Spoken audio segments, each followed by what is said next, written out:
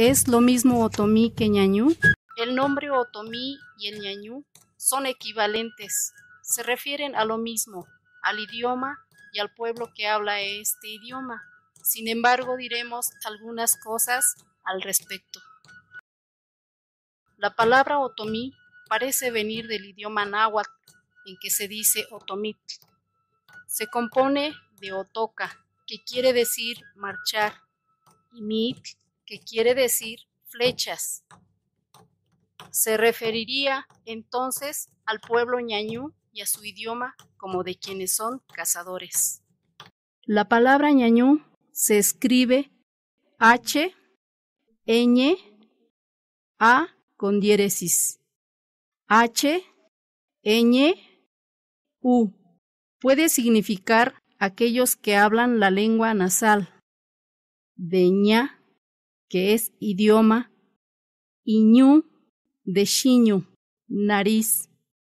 Puede significar también la tercera lengua, de ña, que es idioma, ñu, que es tres. Pero estas interpretaciones tampoco son seguras.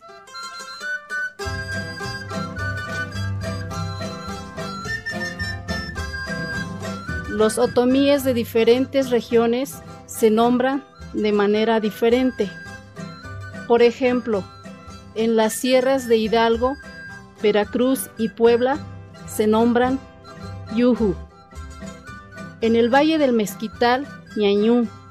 En los alrededores de Toluca se dice ñato, mientras en Querétaro se dice ñuhu pero se trata de un mismo pueblo y de un mismo idioma, que tiene sus variaciones y modo en cada región, sin llegar a ser lenguas diferentes.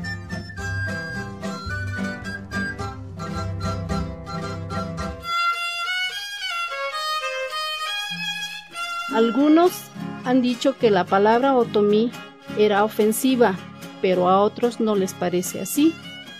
Lo que pasa es que en la historia de Fray Bernardino de Sahagún hay un capítulo que habla de los buenos otomíes y otros de los malos otomíes.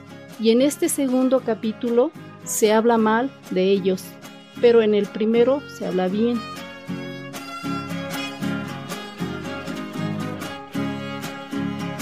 La ventaja de la palabra otomí es que se aplica por igual a todo el pueblo otomí pero la desventaja es que esa palabra está en otro idioma.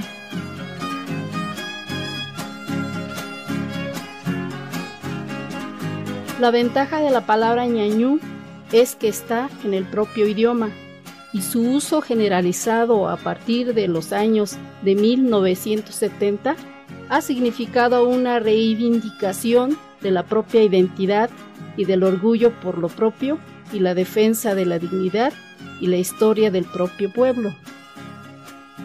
Además, es preferible que un pueblo se identifique con una palabra tomada de su propio idioma, no de un idioma ajeno.